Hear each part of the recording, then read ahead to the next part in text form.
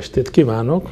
Ma a biogazdaságról fogunk beszélni, hogy hogy is működik ez valójában. Hogy lehet például a város közepén annyi paradicsomot termelni, hogy tízezer ember jól lakjon egy évig. Ugye ez első pillanatra hihetetlennek hangzik, de igaz. Vendégem Kenyeres István, a Biopólus Intézet főigazgatója, és más csodákról is tud majd nekünk mesélni. De akkor hagyj kezdjem ott, hogy mint szakember, Mit gondol ez az egész, egész biogazdaság, ez kellően gyorsan fejlődik, vagy, vagy mehetne ennél sokkal gyorsabban is, hiszen a világ elég éhes, ha úgy tetszik. Én ezt két részre választanám. Az egyik az, hogy, hogy egy elképesztő változás indult be az elmúlt években, ami abba az irányba mozdult el. Nagyon keveset tudunk erről egyébként még, hogy hogy az élelmiszertermelésnek egy jelentős része beindult a városokba. És ma már eh, még szakemberek számára is ez viszonylag egy új információ, hogy ma már a világ élelmiszertermelésének több mint a 10%-át városokban állítják elő. De ezzel párhuzamosan azzal, hogy, hogy városokba költözött, költözik az élelmiszertermelés, főleg azoknak a, a termékeknek a termelése, amit ott helyben közvetlenül frissen kell fogyasztani. Ezzel párhuzamosan megjelentek új technológiák, többek között olyan biogazdálkodási, gazdas, biotechnológiák, amivel nagyon minőségben, nagyon kis helyen, nagyon gazdaságosan, nagyon jó minőségű termékeket lehet elő, előállítani. Tévedek-e én akkor, ha azt mondom, hogy ezek a biotechnológiák, amik közül nyilván sokat éppen a, az űrben kísérleteznek ki, ezek kicsit mintha lassabban mennének át a, a polgári iparba, mint ahogy más, más dolgok, tehát más találmányok? Nem teljesen így van. Vannak persze nyilván is sok minden technológiával van olyan helyzet, hogy egy sokáig ér, érlelődik, aztán vagy kinő, vagy meghal. Ezek az új biotechnológiai, biológiai, inkább azt mondom, biológiai gyártási eljárások biogazdasági eljárások között van néhány, ami robbanásszerűen tört be a, a, a gazdaságba. És említette azt, hogy, hogy, hogy az űrből is jönnek megoldások. Az, amivel mi foglalkozunk, az egyik ilyen technológia, az tényleg szó szerint az űrkutatásból került le a Földre.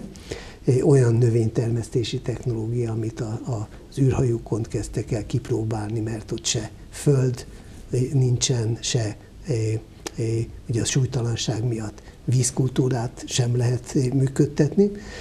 Megjelentek nagyon különleges technológiák, de ez például egészen gyorsan lekerült a polgári életbe.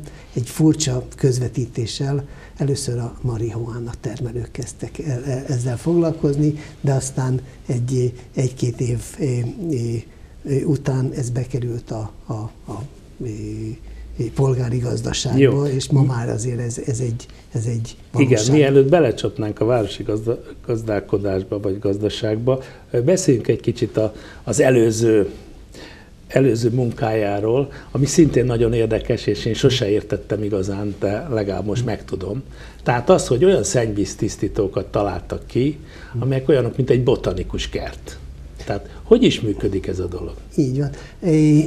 Az elmúlt 15 évben olyan technológiával foglalkoztam, a szakmám egyik, én, én, én, biotechnológus vagyok, hogy hogyan lehet nagyon kis helyen felhasználva a rendelkezésünkre álló élővilágból, a baktériumoktól, a növényeken keresztül a halakig.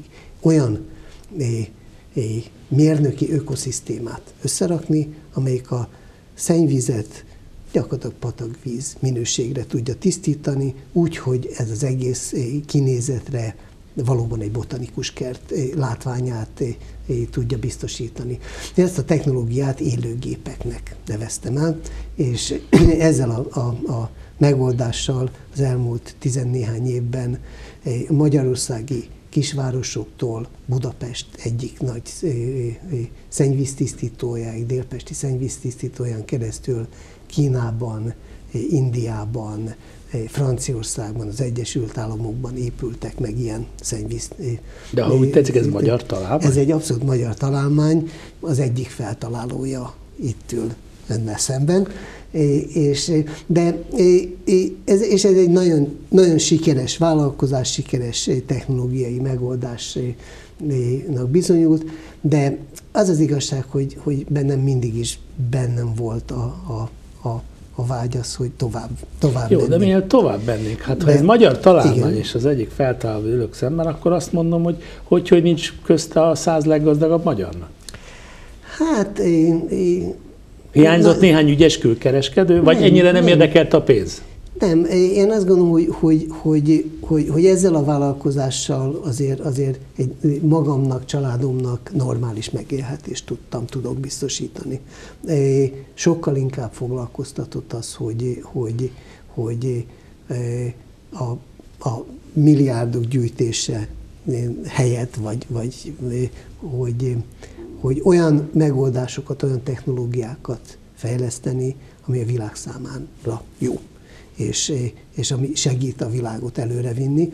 Én nem tagadom, hogy, hogy, hogy, hogy, hogy ebben normális megélhetést is sikerült e, e, ebből biztosítani. Jó, mert mikor legutóbb beszéltünk, de... éppen Kínában volt, tehát Igen. ebből például Kínában szerintem rengeteg botanikus kertet el lehetne adni, Épülés, ami vizet tisztít. Ez azért is És ki fölözi le a hasznot? Vagy olyan olcsón adják, hogy nem, nem lehet belőle meggazdagodni? Hát ebbe, ebbe sok-sok partner vesz részt, és tulajdonképpen az egyik eh, oka egyébként, ami miatt én, én két évvel ezelőtt egy új vállalkozást indítottam el, hogy, hogy eh, eh, azok a partnerek, akik ebben ehhez annak idején pénzt adtak, kockázati tőkét, befektetők megjelentek, hál' Isten mindenki ebből normálisan meg tudott élni, voltak, akik meggazdagodtak, én nem szegényedtem el, meg volt a lehetőségem arra, hogy egy következő generációval foglalkozzam technológiában, gondolkodásban.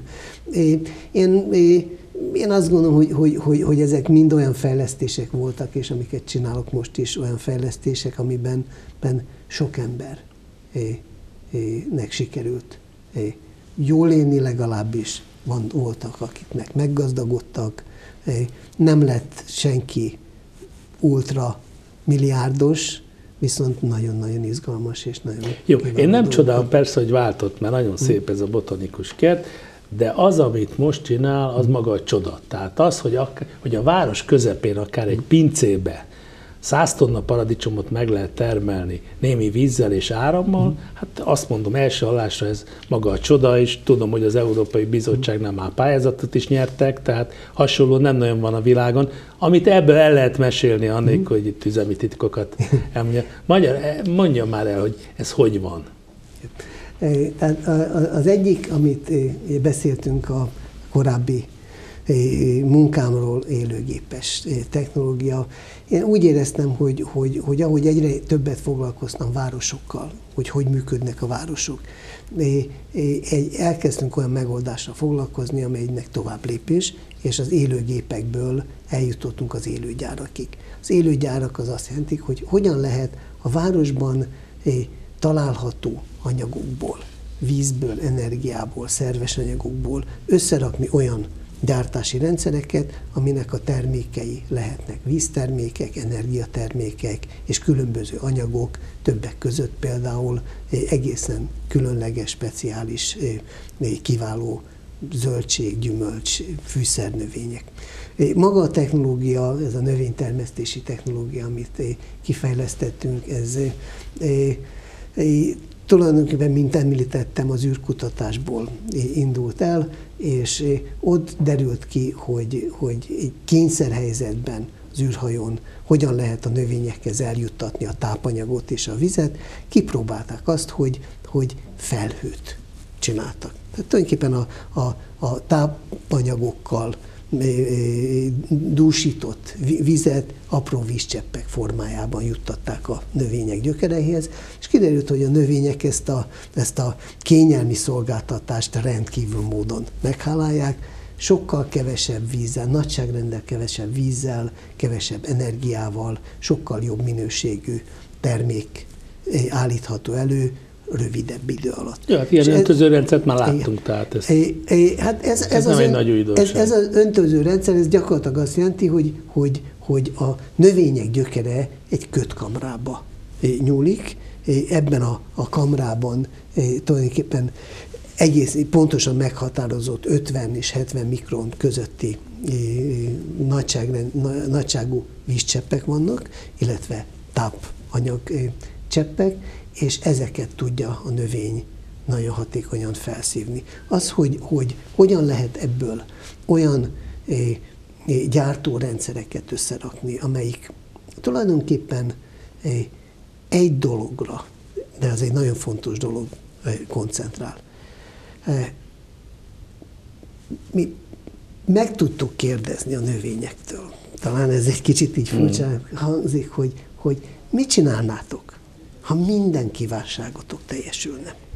És e, tulajdonképpen egy olyan rendszert raktunk össze, ahol, ahol azt tudjuk mondani, hogy, hogy, hogy ha a növény, aminek megvannak a genetikai tulajdonságai a természettől, egy ráhagyott lehetőség, ha minden tökéletes lenne, minden kívánsága teljesülne, akkor mit csinálna? Csodákra képes. Tehát azt, hogy megteremteni, hogy a gyökérhőmérséklet, a levélhőmérséklet, a terméshőmérséklet más-más kíván a növény, más páratartalmat kíván a a, a fejlődése különböző szakaszában, más hullámhosszú fényre van szüksége, más fényintenzitásra.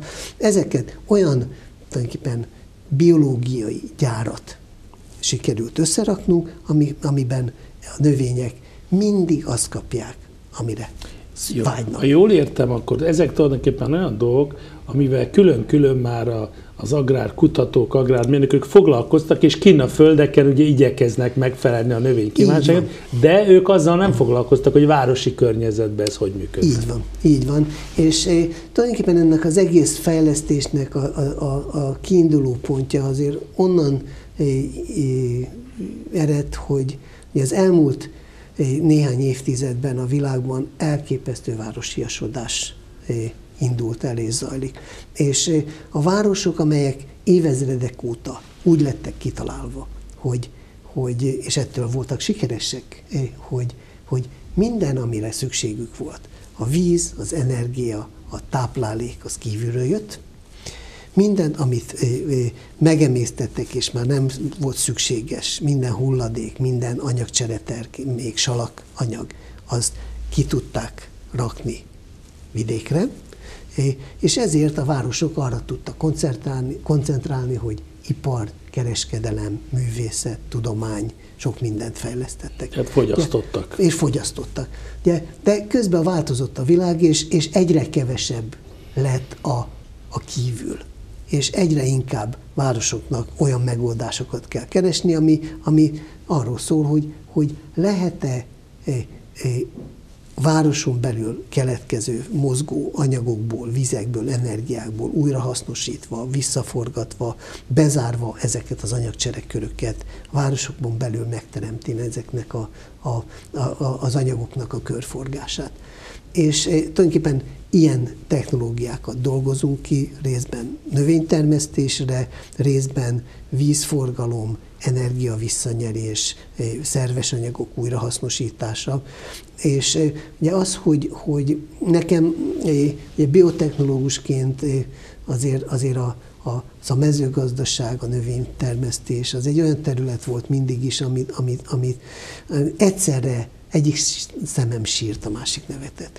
Én azt gondolom, hogy, hogy, hogy, hogy a, a világ abba az irányba megy, vagy kell, hogy menjen, ahogy hogy a természetet hagyni kell, hogy élje maga életét, és a vidék az ne, ne arra legyen kihasználva, hogy a városi embereknek meg legyen a szükséges anyagaik, élelmiszerük, tápanyagaik, nyersanyagaik. Igen, amit, amit most mond, az, az egy hatalmas váltás lenne, hiszen eddig kur, kuriózum volt, hogy valaki paradicsompalántát ugye az erkélyen, akkor én Kispesten láttam ilyen kis kertet, amit a városi emberek ott tápolgatnak az önkormányzat támogatásával, meg láttunk már olyan bemutatót, hogy a méhecskéket bevitték a hősök terére, ugye.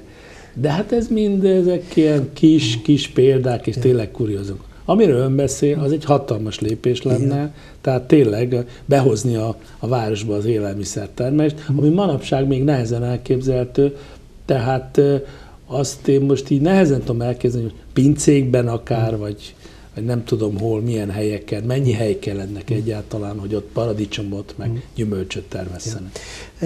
Én fontos dolognak tartom azt, hogy ugye ez látszólag ma egy, egy, egy utopisztikus, tudományos, fantasztikus dolognak történik, de, de ez ma már nem az. És, és ugye az a, a, a vágy, ami egy, a városlakókban egyszerre jelenik meg, hogy szeretnének maguk köz, körül azért a természetet, mert a város ezer és ezer ok miatt egy jó dolog.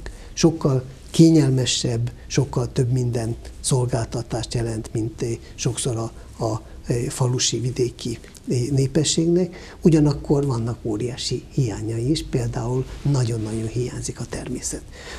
Persze az emberek megpróbálják ezt valahogy pótolni, állatkertbe járnak, kijárnak a parkba, a zöldbe kis kertészkednek, próbálnak az erkélyen valamit termelni, de ez, ez, ez igazából nem arról szól, hogy a, a, a, az élelmiszertermelés.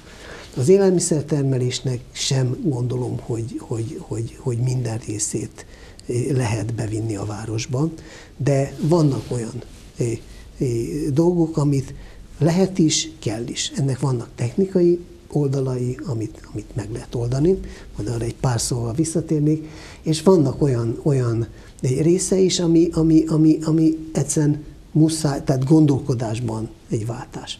Talán egy példát hadd mondjak erre. Néhány évvel ezelőtt, és, és az egyik, ami nekem nagyon segített abban, hogy milyen irányba fejlesztek. Néhány évvel ezelőtt talán emlékszik, vagy a, nézők emlékeznek, volt ez az izlandi vulkán kitörés, és, és hetekre leállt a repülőgép forgalom. És én, én akkor, akkor is pont Pekingben voltam, és ott kellett tíz napot dekkolnom. Nekem is emlékezetes, mert a rokonok azért nem tudtak eljönni az esküvőnkre. Mert... Ajajaj.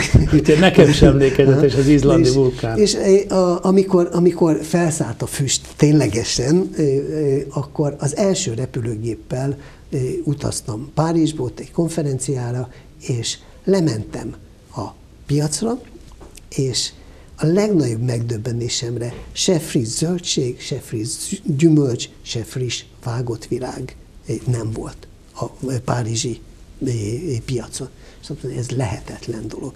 És kiderült, hogy akkoriban, már ez néhány évvel ezelőtt volt, Párizs ellátásának több mint a 80%-át repülővel Afrikából biztosították. És azt mondtam, hogy ez nem lehet egy normális világ. Az, Tehát hogy Marokkóból hozták az, a paradicsomot. Marokkóból, Kenyából, Tunéziából, Tunéziából egykori francia re, repülőgéppel szállított szállítják egy világvárosba a friss zöldség. Egy, egy olyan ország fővárosába, ahol a mezőgazdaság ma is virágzik. Így van, és, és milliárdokat, eurómilliárdokat kapnak a, támogatást, támogatásba a, a gazdák.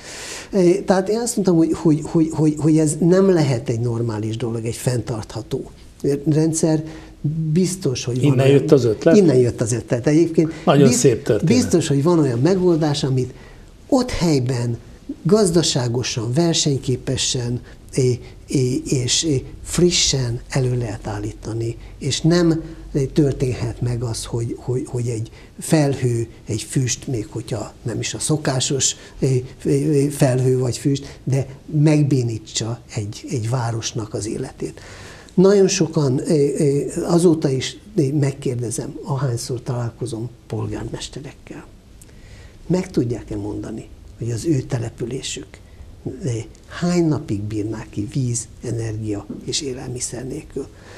Néhány évvel ezelőtt, mikor ezt megkérdeztem, akkor üveges tekintetek voltak. Azt mondja, miért érdekes ez? Ugye, nem tudták. Ma már, hál' Isten, egyre több városvezető számára ez egy, ez egy napi kérdés. Igen, biztosítani kell azt, hogy legalább valamilyen alapszinten de működőképes legyen a, a városa, akkor is, ha valami történik. És az egyik ilyen megoldás az, az, az pont arról szól, hogy, hogy olyan termékeket, zöldség, gyümölcs, lehessen legalább egy részét bent a városban előállítani megfelelő minőségben, amelyik akkor is rendelkezésre áll, amikor valami miatt nem működik a rendszer, és, és erre fel kell készülni vízszakemberként, klímaszakemberként látom azt, hogy, hogy, hogy azért olyan irányba megy a világ, ahol városoknak erre, ha, ha nem készülnek föl, akkor nagyon nagy bajba kerülhetnek. Jó, mekkora helyekkel beszéltünk itt 500 négyzetméterről? Igen, tehát az a, az a kisüzem, amit készítünk elő, és amihez ennek az előkészítéshez, előkészítéséhez nyertünk egy Európai Uniós támogatást, ezt a jövő évben szeretnénk megvalósítani.